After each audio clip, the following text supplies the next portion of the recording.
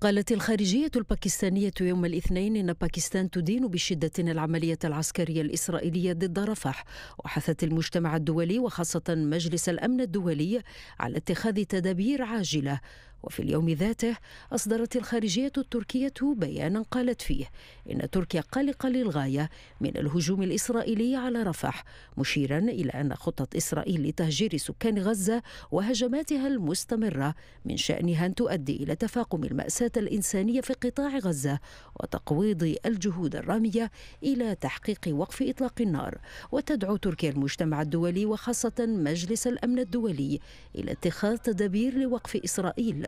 وبحسب تقرير صحيفة الجارديان البريطانية يوم الاثنين قال المتحدث باسم رئيس الوزراء البريطاني في اليوم ذاته إن بريطانيا قلقة للغاية من خطة إسرائيل لشن عملية عسكرية برية ضد رفح وإن رفح تعد حاسمة لعمليات المساعدة الإنسانية في قطاع غزة.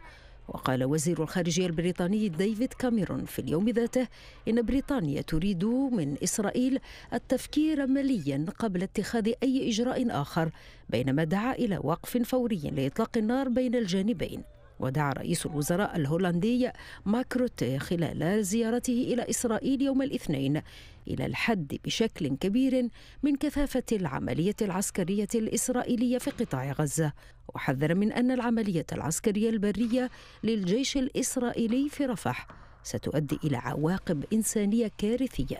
وقال روتي إنه يتعين على جميع الأطراف وقف إطلاق النار فورا وتحقيق حل طويل الأجل للصراع.